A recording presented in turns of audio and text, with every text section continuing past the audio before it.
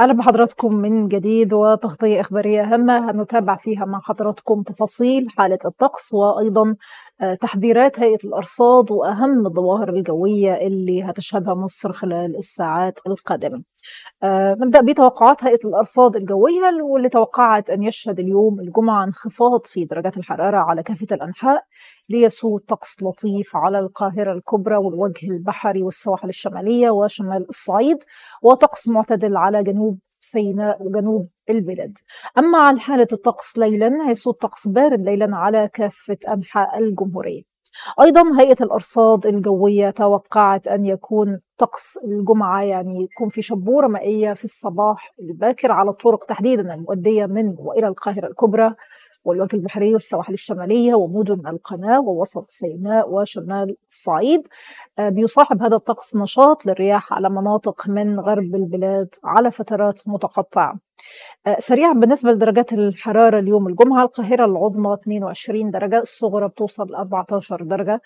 اسكندرية العظمى 21 والصغرى 14 درجة مطروح العظمى 21 درجة والصغرى 13 درجة سوهاج العظمى 23 درجة والصغرى 12 درجة أيضا قنا العظمى 24 درجة والصغرى 12 درجة أسوان العظمى فيها بتوصل ل 26 درجة والصغرى 13 درجة. طيب أيضا كشفت الهيئة العامة للأرصاد الجوية عن حالة الطقس المتوقعة من اليوم حتى يوم الثلاثاء القادم إن شاء الله. هتستمر الأجواء الخريفية على كافة الأنحاء. آه، هيسود تحديدا خلال هذه الفترة من الأيام طقس لطيف آه، بيشمل القاهرة الكبرى يشمل الوجه البحري والسواحل الشمالية وشمال الصعيد ومعتدل الحرارة على جنوب سيناء وجنوب الصعيد. أيضا الطقس ليلا هيكون بارد على كافة الأنحاء. آه، جاءت تفاصيل حالة الطقس خلال هذه الفترة تحديدا كما يلي وخلينا نذكر أهم الظواهر الجوية تحديدا. آه، بداية من اليوم زي ما ذكرنا اليوم كان في شبورة مائية في الصباح الباكر يعني حتى الساعة 8 صباحا تقريبا ودي تحديدا على الطرق الزراعية والسريعة وتحديدا القريبة من المسطحات المائية المؤدية من وإلى القاهرة الكبرى والوجه البحري والسواحل الشمالية ومدن القناة ووسط سيناء وشمال الصعيد. أيضا نشاط رياح على مناطق من غرب البلاد على فترات متقطعة.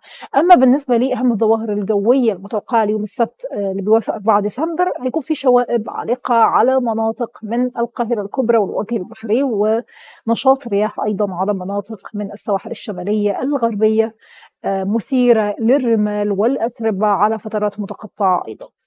طيب ننتقل ليوم الأحد اللي بيوافق 5 ديسمبر وأمطار خفيفة. أمطار خفيفة إلى متوسطة على مناطق من السواحل الشمالية والوجه البحري على فترات متقطعة أيضا. آه، بيصاحبوا نشاط الرياح اللي هيكون مستمر يعني على مناطق من السواحل الشمالية أيضا بشكل متقطع.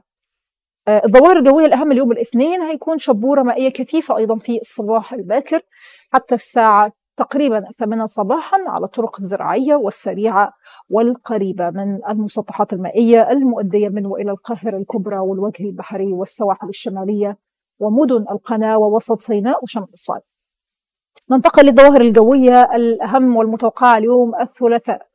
ما زالت الشبورة المائية مستمرة في الصباح الباكر تقريبا حتى الساعة 8 أيضا آه، على نفس الطرق كل الطرق الزراعية والقريبة من المسطحات المائية. بتظهر فيها الشبورة المائية أكثر من غيرها أيضا مدن القناة ووسط سيناء وشمال الصعيد. كل هذه الأماكن بتشملها الشبورة المائية ويمكن الهيئة العامة للأرصاد الجوية أصدرت تنبؤ جوي لشهر ديسمبر بشكل عام آه، يعني وقارنته بالخمسة أعوام الماضية من خلال الدراسة المناخية من قاعدة بيانات المحطات التابعة للهيئة العامة للأرصاد الجوية في مختلف محافظات الجمهورية خلال زي ما ذكرنا شهر ديسمبر في الفترة من 2016 ل 2020 وقارنتها بالتنبؤ الجوي لشهر ديسمبر 2021 طيب النتائج كانت إنه بيان هيئة الأرصاد الجوية أشار إلى إنه بيتضح تشابه متوسط درجات الحرارة خلال شهر ديسمبر 2021 مع الخمسة أعوام الماضية.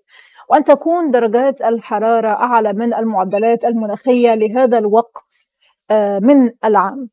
أيضا بتشير خرائط التوزيعات الضغطية لنشاط منخفضات البحر المتوسط بيصاحبها تبريد في طبقات الجو العليا مما يؤدي لحالات من عدم الاستقرار في الأحوال الجوية.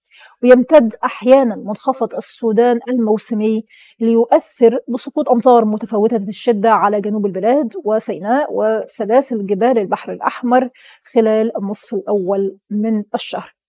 أيضا في توقعات يعني لوجود المزيد من الانخفاض في درجات الحرارة وخاصة درجة الحرارة الصغرى أثناء ساعات الليل. أشارت أيضا هيئة الأرصاد إلى أنه من خلال الدراسة آه، من المتوقع أن تكون معدلات سقوط الأمطار حول المعدل الطبيعي لهذا الوقت من العام على مناطق من الوجه البحري والقاهرة وسيناء وجنوب البلاد. أيضا من ضمن التوقعات الخاصة بالهيئة العامة للأرصاد الجوية واللي ضروري نشير ليها أنه آه، هيكون معدل سقوط الأمطار بالنسبة للسواحل الشمالية أعلى من المعدلات الطبيعية. آه، من المتوقع أن تسقط أمطار متفاوتة الشدة على مناطق من السواحل الشمالية بكثرة. آه، وتزداد أيضا كثافة الشبورة بخصوص الشبورة المائية ويعني وجودها صباحا بشكل أكثر من مساء زي ما ذكرنا على بعض الطرق المؤدية من وإلى السواحل الشمالية ومدن القناه والوجه البحري والقاهرة الكبرى حتى شمال الصعيد مما يؤدي إلى انخفاض الرؤية الأفقية آه، يعني ضروري كل الناس تنتبه للشبورة المائية على المناطق اللي ذكرناه في المواعيد تحديدا اللي ذكرتها الهيئة العامة للارصاد الجوي. شكرا لمتابعة حضراتكم. يعني كانت هذه الحالة العامة للطقس أهم الظواهر الجوية خلال الساعات القادمة وتحديدا من يوم الجمعة حتى الثلاثاء القادم. شكرا اللقاء.